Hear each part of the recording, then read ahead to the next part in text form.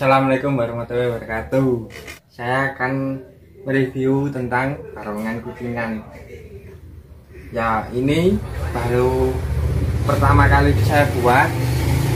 Nah, itu saya akan menampilkan kepada anak-anak supaya generasinya akan bertambah dan berkembang. Sekarang saya akan mengajari satu salah satu anak kecil usia sekitar tiga tahunan.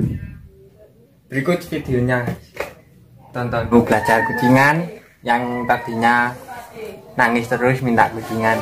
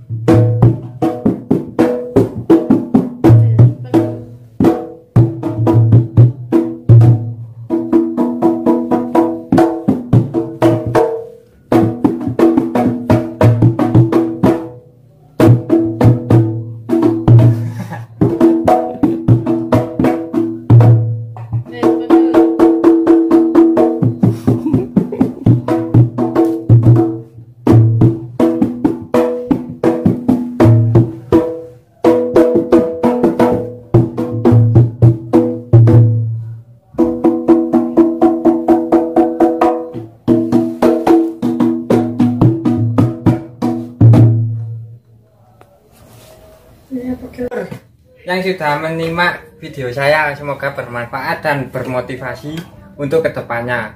Jangan lupa subscribe. Subscribe itu gratis